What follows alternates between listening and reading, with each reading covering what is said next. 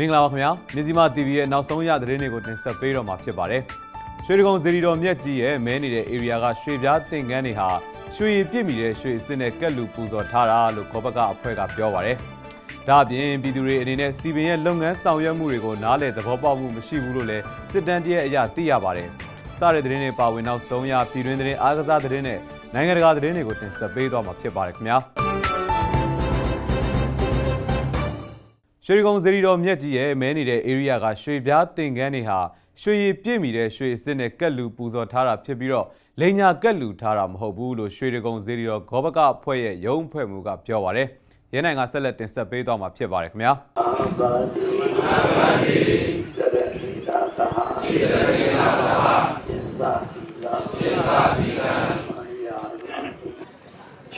တော်မြက်ကြီးရဲ့မဲနေတဲ့အေရီယာကရွှေပြားသင်္ကန်းတွေဟာရွှေပြည့်မီတဲ့ရွှေအစစ်နဲ့ကက်လူပူဇော်ထားတာဖြစ်ပြီးလိန်ညာကက်လူထားတာမဟုတ်ဘူးလို့ရွှေတကုံစီရီတော်ဂောဘကဖွဲ့ရဲ့ရုံးဖွဲ့မှုကပြောပါတယ်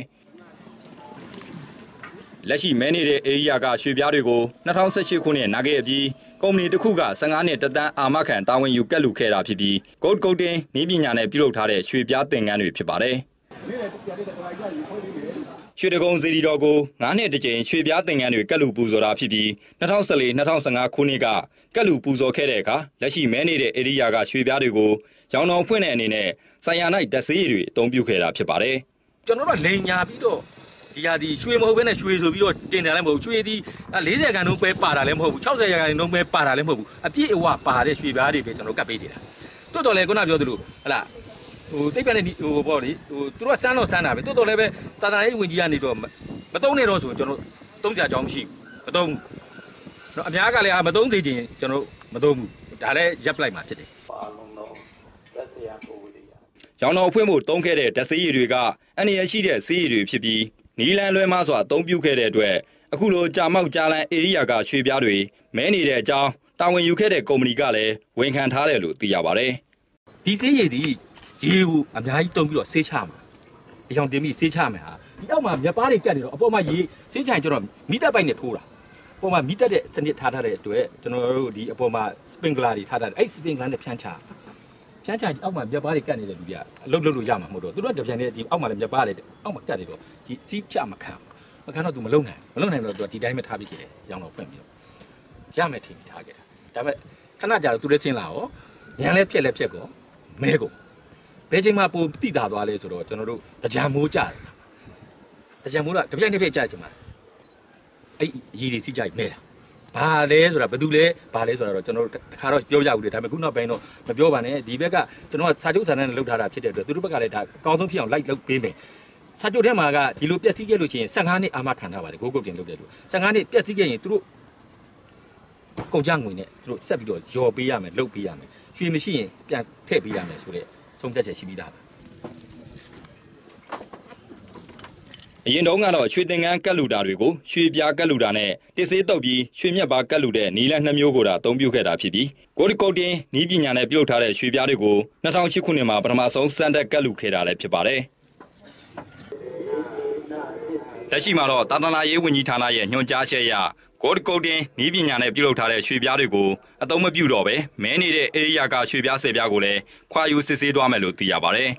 ရွှေပြားဆယ်ပြားကိုခွာယူစစ်ဆေးမဲ့ကိစ္စတွေဇီရီတော်ကိုလုံးကိုထဲကြံခံမှုတွေကိုစစ်ဆေးတာတွေနဲ့ရွှေပြားသင်္ကန်းအသိကက်လူပူဇော်ဖို့အတွက်စက်တင်ဘာလ15ရက်နေ့မှာတော့ညမ်းတွေကိုစဆင်ဖို့ပြင်ဆင်နေပြီဖြစ်ပါတယ်ကျွန်တော်တရင်ထောက်ရင်းနိုင်ပါ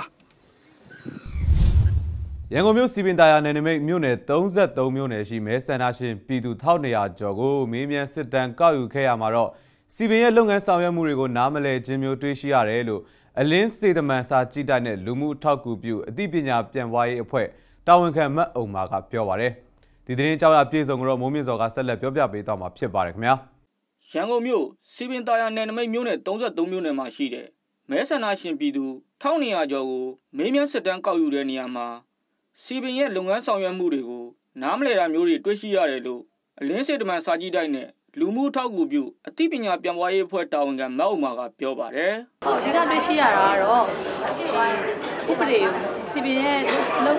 လန်းဆောင်တာဥပဒေတွေကိုနားမလည်နေတာကိုတွေ့ရှိရတယ်။နောက်တစ်ခုကစီပင်ရဲ့ budget တွေကိုဒီလိုမျိုးသုံးစွဲနေတယ်ဆိုတာကိုသိသိနေဘူးပေါ့နော်အဲ့ဒီအချက်ကိုသိရှိရတယ်နောက်တစ်ခုကပြည်သူရဲ့ဆန္ဒကတော့ရွေးကောက်ခံအများအများပါစေခြင်းနဲ့ပြီးတော့ရွေးကောက်ခံဖြစ်စေခြင်း တာကိုတွေ့ရတယ်နောက်တစ်ချက်ကတော့ဒါကတော့အံ့ဩစရာကောင်းတဲ့အချက်တစ်ခုကဝန်ဆောင်မှုတွေသာပို့ရရင်အခအခကြီးကိုထုတ်ပေးမယ်ဆိုတော့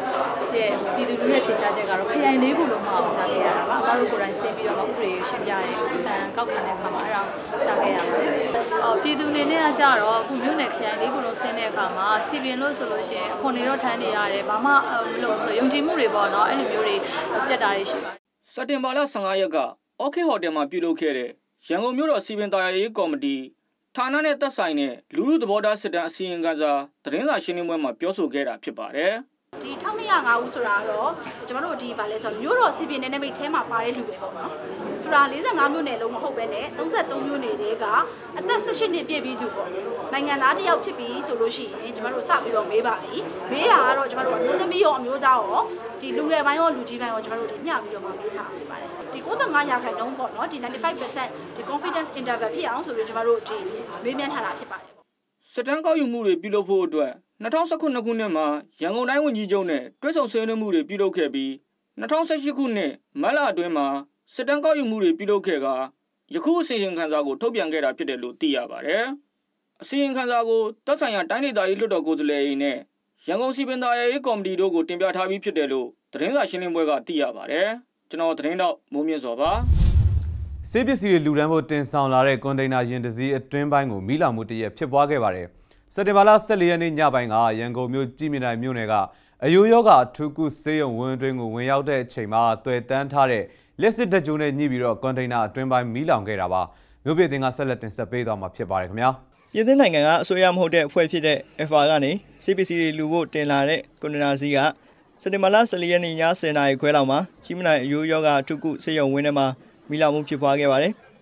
ဒါကတော့အယိုးယောဂအထုကုစေယုံရဲ့ခါယူဆောင်ဝင်ပေါက်ကိုဝင်တော့လက်စစ်တပ်ကြိုးနဲ့ညှိပြီးအထက်ထဲကပစ္စည်းတွေပတ်ထားတဲ့စက်ကူစားတွေမှာတငွေ့ငွေ့နဲ့လောင်ခဲ့တာဖြစ်ပါတယ်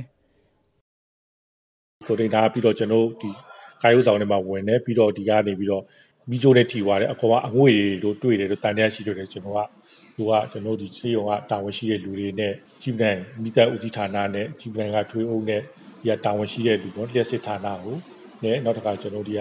ဒီကမျိုးတွေကလွတ်တော်ကိုယ်စားလှယ်ကိုကျွန်တော်ချက်ချင်းအချိန်နဲ့တပြေးပြီးအကြောင်းကြားခဲ့တယ်ဖြစ်စဉ်ကတော့ညနေ7ည10နာရီခွဲပတ်ဝန်းကျင်မှာဖြစ်တာပေါ့နော်ဒီ alpha ဘလာတဲ့ပစ္စည်းတွေကကျွန်တော်ဒီအယိုးစေုံတစ်ခုတည်းလူတန်းတာပုံပင်နဲ့သူကတခြားနေရာတွေလူတန်းမဲ့ဟာတွေကိုပထမဆုံးအနေနဲ့ကျွန်တော်စေုံမှာလာချရင်းနဲ့ဒီဖြစ်စဉ်ဖြစ်သွားတယ်ပေါ့နော် မိသားတွေတာဝန်ရှိသူတွေကဒီကွန်တိန်နာကိုမိငိမ့်တာအထက်ကပစ္စည်းတွေဖယ်ပေးတာတွေလုပ်ခဲ့ပြီးည7:00နာရီလောက်မှာအလုံးပြီးသွားခဲ့တယ်လို့ဆိုပါတယ်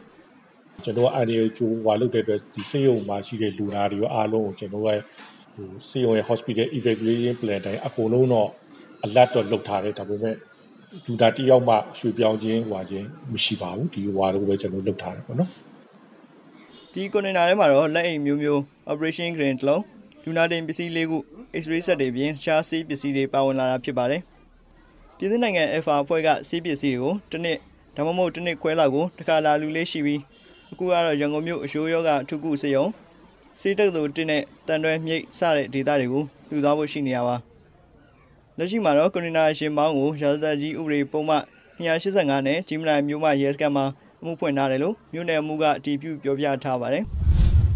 စက်တင်ဘာလ15ရက်နေ့မှာကြာရောက်တဲ့ကမ္ဘာတန့်ရှင်နေ့မှာဒိုအိမ်ဖောင်ဒေးရှင်းနဲ့တက်မြန်မာတို့ပူးပေါင်းပြီးတော့အသိပညာပေးစုပေါင်းတန့်ရှင်လှူရှာမှုတွေကိုပြုလုပ်ခဲ့ကြပါတယ်ဒီသတင်းအကြောင်းအရာပြည့်စုံကိုတော့ပြည့်ဖြိုးကဆက်လက်ပြောပြပေးမှာပါခင်ဗျာ2018ခုနှစ်စက်တင်ဘာလ15ရက်နေ့မှာကြာရောက်တဲ့ကမ္ဘာတန်ရှင်းနေ့အထိမ်းအမှတ်ဖြစ်ဒိုအိမ်ဖောင်ဒေးရှင်းနဲ့တက်မြန်မာတို့ပူးပေါင်းပြီးတန်ရှင်းအသိပညာပေးခြင်းနဲ့စုပေါင်းတန်ရှင်းရေးလှုပ်ရှားမှုတွေကိုရန်ကုန်မြို့32လမ်းနဲ့32လမ်းရှိနောက်ခွေးလမ်းကြားမှာပြုလုပ်ခဲ့ပါတယ်။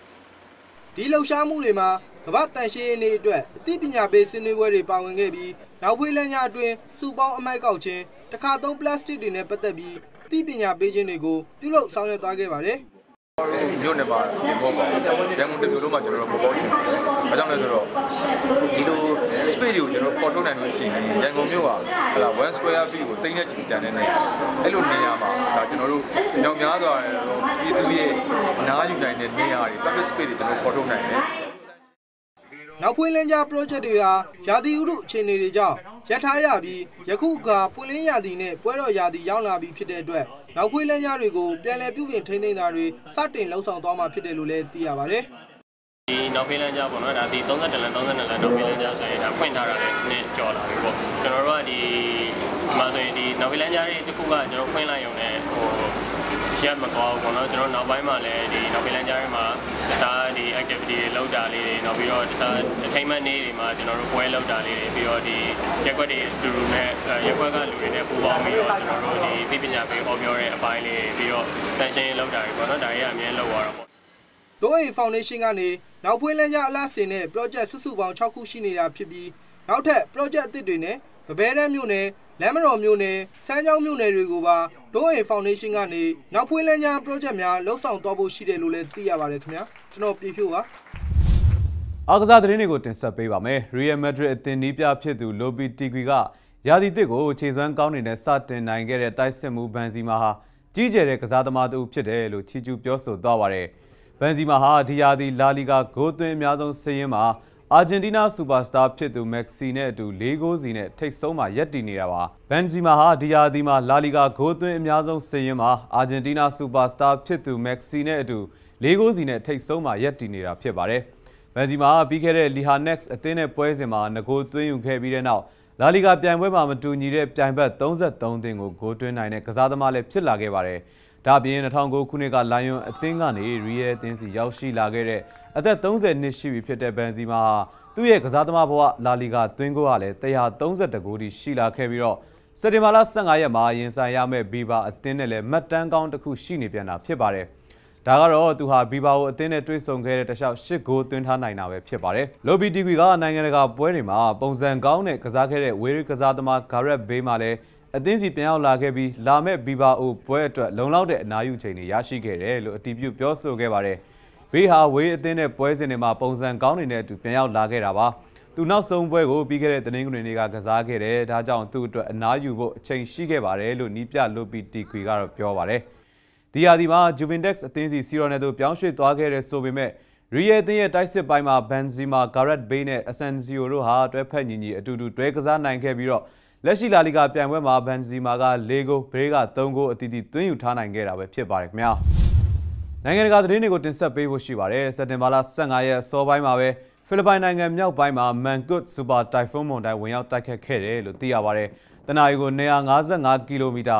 160မိုင်နှုန်းခန့်နဲ့ရွေ့လျားနေတဲ့မန်ကွတ်တိုင်ဖုန်းမုန်တိုင်းဟာလေတိုက်နှုန်းတနအီ205ကီလိုမီတာနဲ့လူဇွန်ကျွန်းစုကိုဝင်ရောက်တိုက်ခတ်ပြီးတော့ မိုးတဲထန်စွာရွာသွန်းခဲ့ပြီးရေကြီးမှုမြေပြိုမှုတွေပါဖြစ်ပွားခဲ့တာဖြစ်ပါတယ်။လက်ရှိချိန်မှာတော့လူဇွန်ကျွန်းမှာလက်စစ်တပ်အားတွေပြတ်တောက်နေတယ်လို့လည်းသိရပါတယ်။မုန်တိုင်းဝင်ရောက်တိုက်ခတ်မဲ့လမ်းကြောင်းတစ်လျှောက်မှာနေထိုင်ကြတဲ့ဒေသခံတွေကိုတော့ပြီးခဲ့တဲ့တောက်ကြနေ့ကပဲဘေးလွတ်ရာကိုပြောင်းရွှေ့ထားကြပြီဖြစ်ပါတယ်။မန်ဂွတ်တိုင်ဖုန်းမုန်တိုင်းဟာဟောင်ကောင်ဘက်ကိုဆက်လက်ဦးတည်သွားနိုင်တယ်လို့သူတည်တဲ့ပညာရှင်တွေကလည်းခန့်မှန်းထားတာပါ။ဒါ့အပြင်မန်ဂွတ်စူပါတိုင်ဖုန်းမုန်တိုင်းဟာတောင်တရုတ်ပင်လယ်ကိုဖျက်ပြီး VNL မြောက်ပိုင်းကိုပါဝင်ရောက်တိုက်ခတ်ဖို့ရှိကြောင်း ဟောင်ကောင်မိုးလေဝသဌာနကထုတ်ပြန်ကြေညာထားပါတယ်ခင်ဗျာ။အာဖရိကတိုင်းဂျိုဟန်နက်စ်ဗတ်မြို့ပြင်မှာတော့ Comic Con ပွဲတော်ကိုစူပါလူဇွမ်းကောင်းတွေမိစ္ဆာကောင်းတွေတွေးဆုပ်ဖုတ်ကောင်းတွေနဲ့စီစီကာကကျင်းပလျက်ရှိနေတယ်လို့သိရပါတယ်။ Comic Con ပွဲတော်ကိုပြီးခဲ့တဲ့စက်တင်ဘာလ14ရက်ကနေ16ရက်အထိ3ရက်တန်တိုင်ကျင်းပသွားမှာဖြစ်ပါတယ်။ Comic Con ပွဲတော်ကိုစိတ်ဝင်စားသူပရိသတ်အများပြားကလည်းလာရောက်ကြည့်ရှုနေတာပါ။ Comic Con ပွဲလက်မှတ်ကိုရောင်းချမှာတော့တရက်ကိုလူဦးရေ18000သာဝင်ရောက်ကြည့်ရှုခွင့်ပေးထားတဲ့အတွက်ကြောင့်မလို့လက်မှတ်ကုန်သွားလို့လက်ပြန်ရတဲ့ပရိသတ်တွေလည်းအများကြီးရှိနေတာပါ။ဒီ Comic Con ပွဲတော်ကိုတော့အာဖရိကမှာပထမဦးဆုံးကျင်းပတဲ့ပွဲဖြစ်ပြီးတော့အခုလိုကျင်းပနိုင်ဖို့အတွက်9နှစ်လောက်အချိန်ယူပြင်ဆင်ခဲ့ရပါတယ်လို့ပွဲစီစဉ်တဲ့ဒါရိုက်တာကာရိုဝီဝင်းကပြောပါတယ်။ Comic Con ပွဲတော်မှာဂိမ်းကစားနည်းတွေများစွာဝင်ရောက်ကစားနိုင်တယ်လို့ Harley Quinn, Iron Man, Hulk တော့အစရှိတဲ့ရုပ်ရှင်ဇာတ်ကောင်တွေလိုဝတ်စားထားတဲ့ cosplayer တွေကိုလည်းတွေ့မြင်ရမှာဖြစ်ပါတယ်။ Comic Con ပွဲတော်ကို1980ခုနှစ်ကကယ်လီဖိုးနီးယားပြည်နယ်ဆန်ဒီယေဂိုမြို့မှာစတင်ကျင်းပခဲ့တာလို့လည်းသိရပါတယ်ခင်ဗျာ။မြစီမ TV ရဲ့နောက်ဆုံးရသတင်းတွေကိုတင်ဆက်ပေးခဲ့တာဖြစ်ပါတယ်ခင်ဗျာဆက်လက်ပြီးတော့မြစီမ TV ရဲ့အစီအစဉ်ကောင်းတွေကိုကြည့်ရှုကြပါလို့ပြောကြရင်းနဲ့ပရိသတ်များအားလုံးပဲစိတ်ချမ်းသာခြင်းကိုယ်ကြီးချမ်းသာခြင်းနဲ့ပြည့်စုံနိုင်ကြပါစေခင်ဗျာ